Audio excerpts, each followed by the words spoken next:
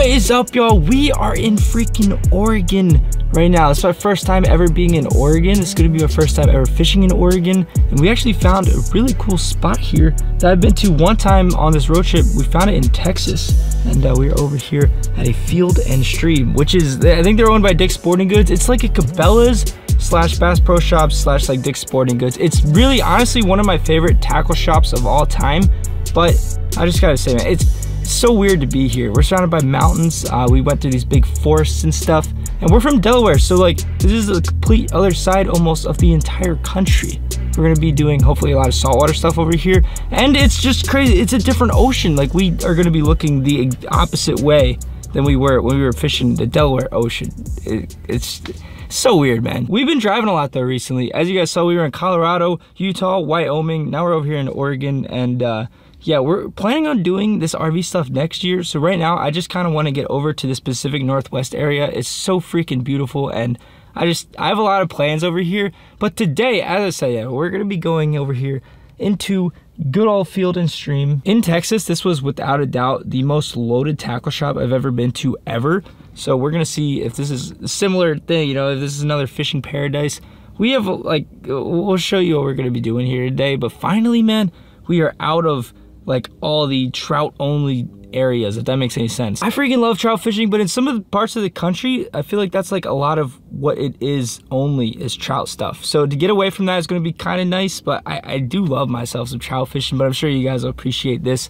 Today, we're actually gonna be throwing it back some OG fishing. You, will see it here in a little bit. We'll go over there and try some new spots out. Found a lot of spots on Google Maps and uh, yeah, man, I'm gonna stop talking. Let's get over here to Field and Stream. There's a lot of food options around here too, man. We got Chipotle, Chick-fil-A, which when you're RVing, like we've been kind of in the middle of nowhere, so now we're near food, which is cool, but yeah, let me stop talking about it. Let's get over here. I'm excited, dude. Let's get into Field and Stream. Hopefully we don't spend too much freaking money. One thing I just gotta point out real quick is this weather is beautiful. Like, unlike in uh, Colorado where we were so high in elevation and the sun was just blasting on you, here, I think we're like 7,000 less feet. I think we're only at like 4,000 feet or something here.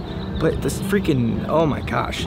Feels like fall back in Delaware. Like it's like 70-ish degrees, nice, warm, sunny skies. So nice, man. I, I'm digging this.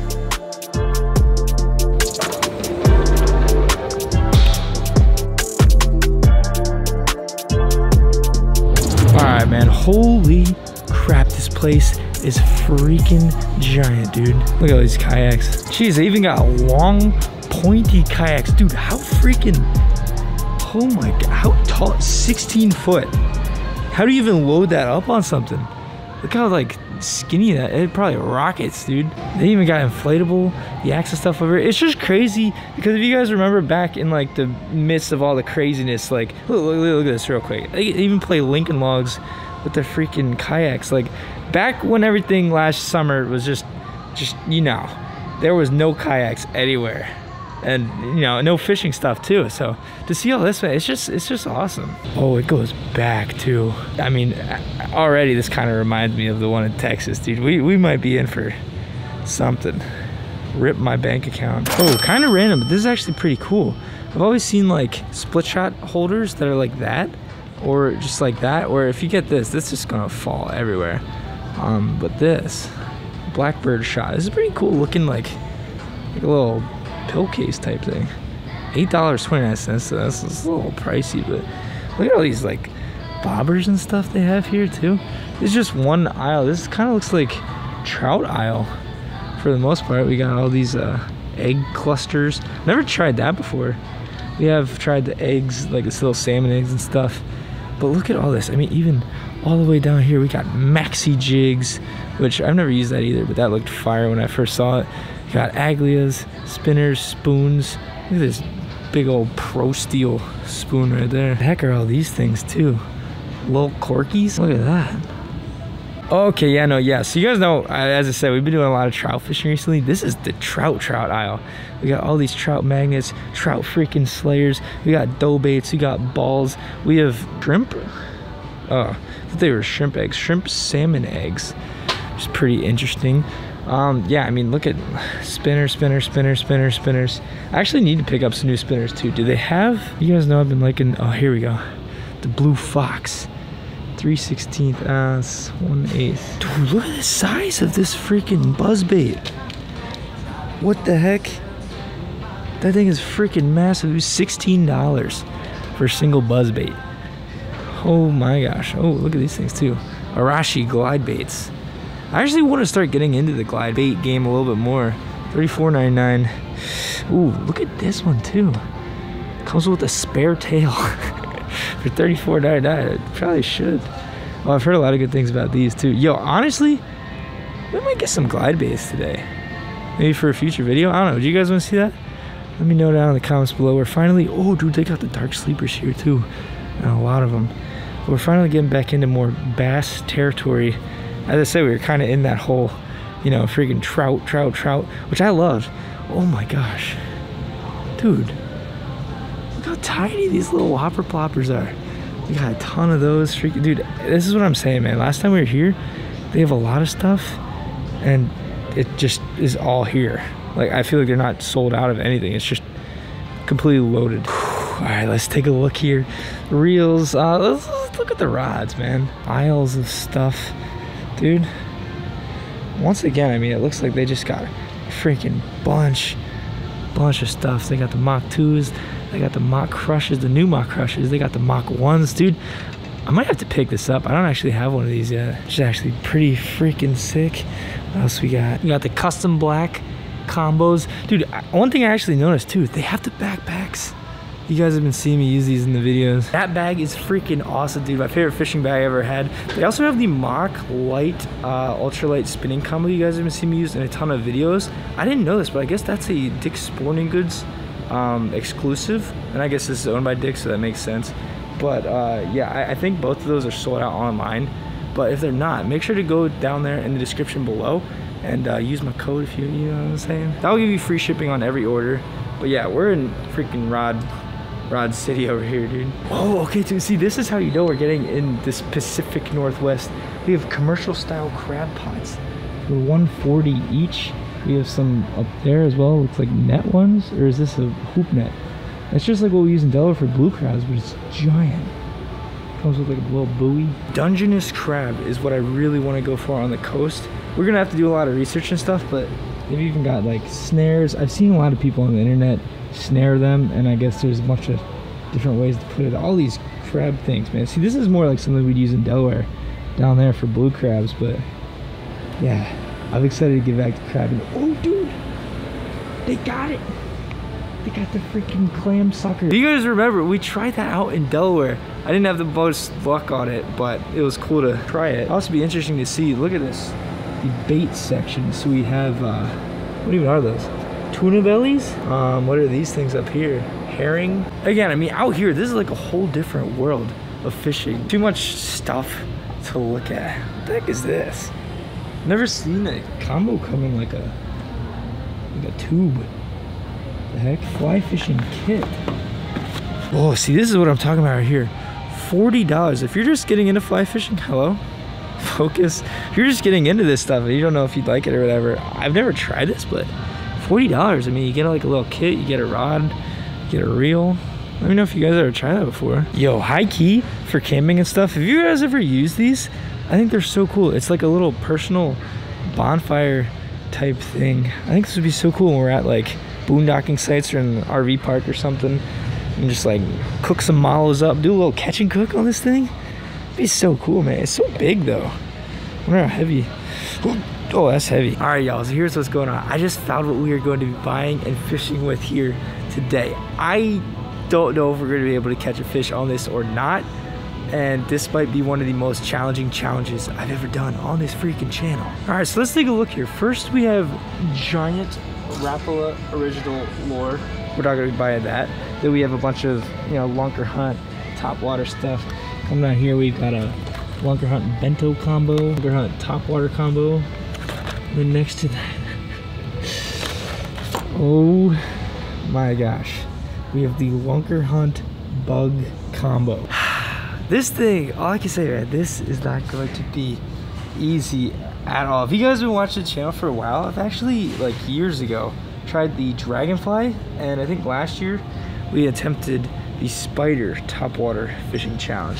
So it's literally, this is a, what the heck is that? I, have used this before too, a long time. Actually, no, that is a popper. The one we had had a, like a lip on it. It kind of made it do one of those things. So that's new. That's like a cicada type popper thing. Never used either of these colors. Dragonfly, I, I don't even know, remember the dragonfly really that much. And then the freaking spider, dude. I am not exaggerating when I say this might honestly be one of the hardest challenges on my freaking channel. The ponds that I'm going to too, I don't even know if they're like top water places. Like, or if there's even really bass in it or how much they get fished. I don't freaking know, dude. We're in the middle of Oregon. Let me know if you guys think we're gonna be able to catch something with this. But along with this, while we're here with all this like cool stuff, I mean, they even have, I've heard of these before too, mag drafts, bull shads. I'm not like a big uh, bass guy, as you guys know. Like I've never really used all these big old baits like this. I mean, we got the Gantarel Juniors, bull shads, Arashi. I was looking at this dude right here. It's $15. Which again, I mean, for a lure, which hopefully we don't snap off. That thing looks sick, dude. Looks like a legit bluegill. I think that's pretty much it. I mean, I've freaking looked around a lot. There's so much. Oh, we gotta get spinners too, but that's not gonna be for this video. But uh, yeah, man. Oh, look at this, dude. There's so much stuff. Hold on. Look how cool this looks. This is a bumblebee color of uh, some power bait. All right, man, before we spend too much money, let's get out of here. I'm gonna show you guys where we're gonna be fishing today, man. I'm super excited. I don't even know if it's really gonna be good fishing or not, but just like the type of fishing we haven't done in so freaking long. So I'm excited. What's up, dude? Uh, okay. So, I got no clue what the heck is freaking going on. We are on like planet Mars right now. So this is like, I guess, a uh, dirt bike slash ATV kind of area. This, I think, was supposed to be one of the ponds. There's, there's not a pond. I don't know, we drove, dude, that was like the most off-roading, off-roading we've ever done in this truck so far and we were going over some bumpy stuff but i guess we'll check down that way we'll check over that way. There's got to be a pond somewhere there's supposed to be a pond loaded with fish or a bunch of ponds but there's muddy puddle. I don't i don't know. Whoa we have a fellow oregonian in the freaking pond dude he's got his truck in there. What is going on yeah, that looks fun. All right, y'all. So, I found this little body of water over this hill right here. Didn't do too much exploring yet. But look at this right here. It looks weedy and shallow. Kind of might be good for topwater fishing. I don't know. By the way, I don't know if you guys can see that all the way out there in the distance. I believe that is a volcano. We passed it the other day. It looks so freaking cool. Yeah, I think we're gonna try to get over here. See, I mean, I don't know. This could be actually pretty good if there are, you know, bass in here. There's a bunch of ponds, as I said, or there were a bunch of ponds, but if there's fish in here, maybe they're hungry. It's been the case before, you know, we fished these ponds that are almost like drying out like this. Super weird, man. I don't know if there's a drought here too. We've been going through some drought territory and yeah, we passed this lake the other day. I swear, oh, dude, there's a little family of, those things? Like friggin' loons or something. But yeah, we passed this giant lake that was completely empty. So weird looking. I mean, yeah, I guess we'll give this a shot. I'm sure people drive through here with their vehicles too. I'm just wondering how deep this is. Huh. As you guys can see, this is kind of like what we're looking like.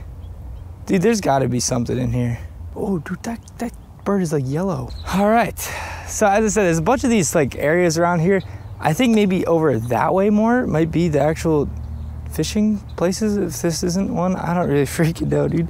We're in some new territory as always, but here you go, man. Premium fishing products. Now, I don't know if I just got like ones that didn't work or if I'm just the best fisherman ever, but uh, the dragonfly and the spider, I just, I, I don't know. I, last time it was just not the best. I think we're going to go with, go with the popping bug. Oh, here we go. I actually said it too. Dragonfly, finesse topwater, phantom spider, realistic crawling legs. And popping bug ultra durable pause pop repeat. Definitely let me know in the comments below if you guys have ever had any luck using any of these. Oh this doesn't actually come with a hook in it. Wait what? All right so already um, this is interesting. So this and the uh, dragonfly don't come with hooks already in them you kind of have to rig them up. I guess like huh let me look at the freaking thing. Yeah, I mean, I don't know. I, I, guess I have it probably rigged up backwards, right? All right, that popper was too confusing. We're gonna try the dragonfly. I think this I, I have this set up right. It's been a while since we've thrown a freaking baitcaster too. See a dragonfly right there. I just don't understand these lures, dude. I didn't the first time I used them. I just I, know, I thought it'd be different. Can y'all hear that? So there's frogs here. There's definitely dragonflies that are flying around. Oh, oh, oh. I thought it was for sure the spider, but now I don't know which freaking lure is gonna be the toughest. Ooh,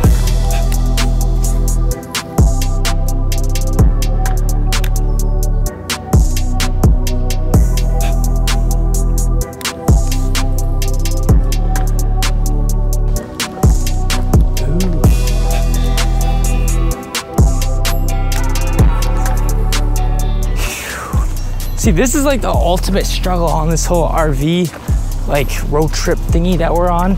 It's, it's, I, I don't know where to go, you know? All right, so as always, you never know what is gonna happen in the first day fishing video. So we are over here in a new pond.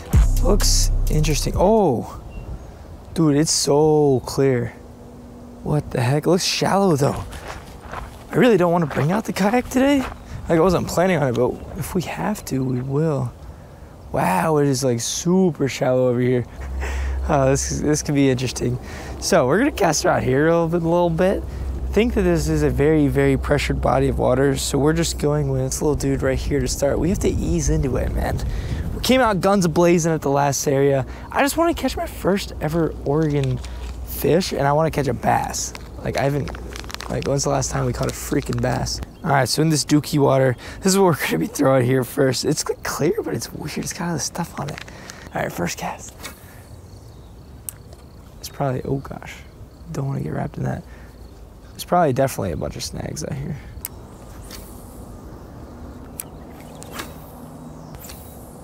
Excuse me.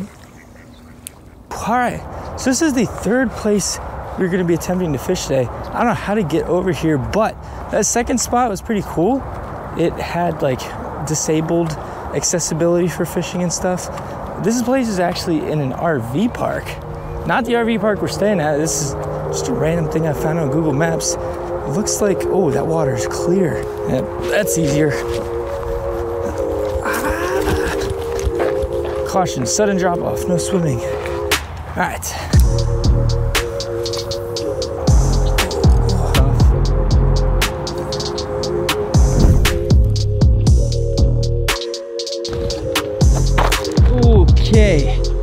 Brand new spot that I actually found on Google Maps. One of those interesting sends. Before we actually get everything out, we're gonna go check it out. This isn't one of those places that I like have seen other people fish, but on Google Maps, it's just a pond over here in like the middle of nowhere, and it looks like there could be fish. So we're gonna walk over here real quick. Looks like there's like a pathway kind of thing. Got some nice Oregon grass. Do you see a pond down that way. I don't know. I, I we're gonna put some pants on, I think. We're gonna check it out. I hope you guys appreciate the freaking effort putting into these videos. We're just trying to catch a fish, man. It's tough because, I mean, just when you know when you're on the road, especially new spots, it's hard to find spots that are good, spots that a bunch of people aren't at. Oh my gosh, I'm literally walking, I think, in what used to be like the swimming area of this lake. Holy crap, that's crazy. It's just crazy how like low everything is here.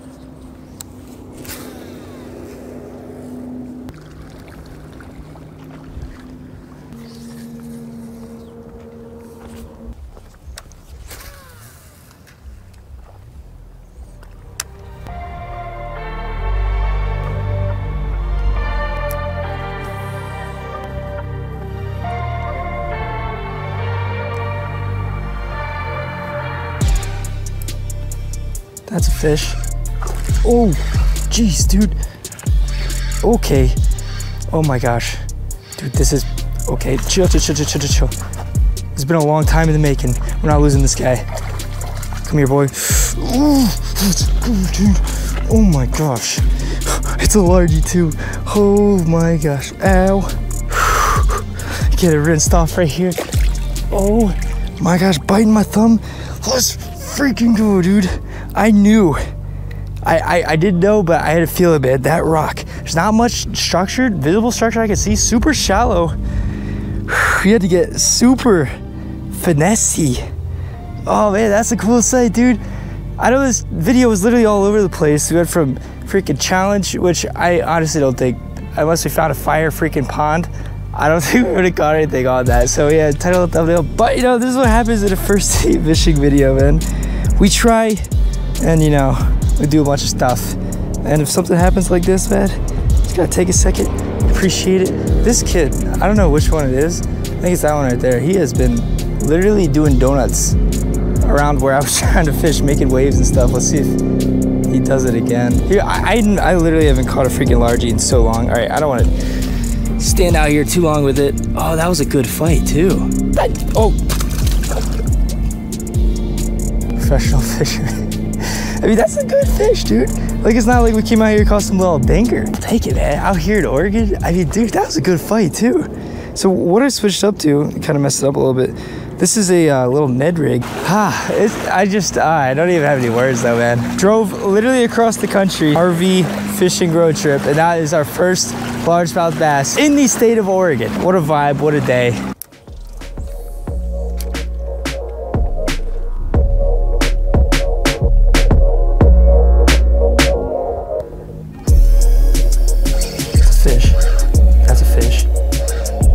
Freaking fish.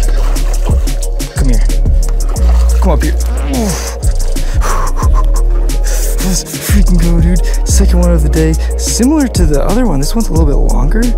Not as fat. Oh my gosh. See, around the structure, I think especially as it starts getting darker out, these fish might start pushing up a little bit more to feed. Especially around these rocks, looking for crawfish, baitfish, whatever. Beautiful freaking fish, man. Thank you so much. Second one in Oregon. All right, let's keep casting around this. Oh man, they're putting up good fight too. All right, this is what we're throwing. This is a Ned rig. Uh, I've used a lot in these videos. Basically, it's just a tiny little Ned head jig. This one's all torn up. But on this, you just have a tiny little, this is actually floating. And this is just a turd is what they call it. A TRD. I really like using it because there's a lot of, you know, different species you can catch for that. I'm actually surprised that if there's smallmouth in here, we're catching all these largies. The sun's starting to go down. Look at this. Look at that. Sun setting over the hill. You wanna know just where